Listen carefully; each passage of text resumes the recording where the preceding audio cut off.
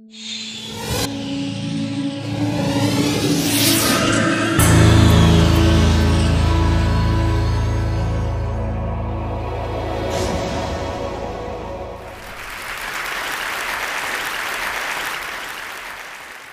a year ago, I asked myself a question.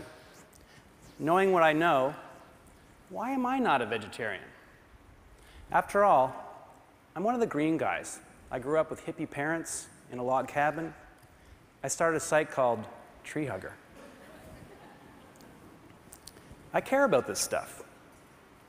I knew that eating a mere hamburger a day could increase my risk of dying by a third. Cruelty I knew that the 10 billion animals we raise each year for meat are raised in factory farm conditions that we hypocritically wouldn't even consider for our own cats, dogs, and other pets. Environmentally, meat amazingly causes more emissions than all of transportation combined cars, trains, planes, buses, boats, all of it. And beef production uses 100 times the water that most vegetables do. I also knew that I'm not alone. We as a society are eating twice as much meat as we did in the 50s. So, what was once the special little side treat now is the main much more regular. So, really, any of these angles should have been enough to convince me to go vegetarian.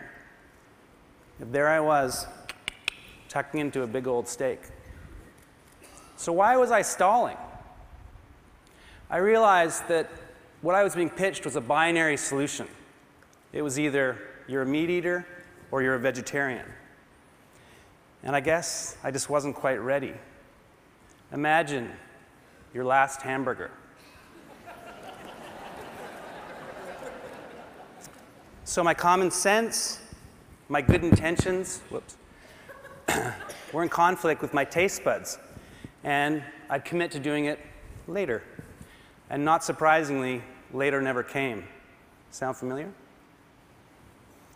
So I wondered, might there be a third solution?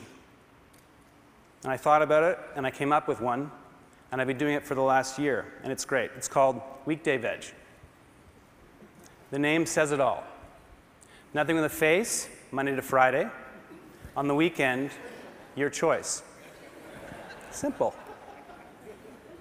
If you want to take it to the next level, remember that the major culprits in terms of environmental damage and health are red and processed meats.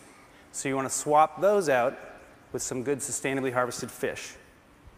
It's structured so it ends up being simple to remember, and it's okay to break it here and there. After all, cutting five days a week is cutting 70% of your meat intake. The program has been great, Weekday Veg. My footprint's smaller, I'm lessening pollution, I feel better about the animals, I'm even saving money. Best of all, I'm healthier, I know that I'm going to live longer, and I've even lost a little weight.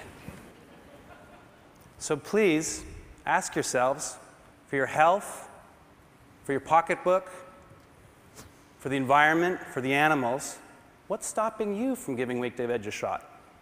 After all, if all of us ate half as much meat, it would be like half of us were vegetarians. Thank you.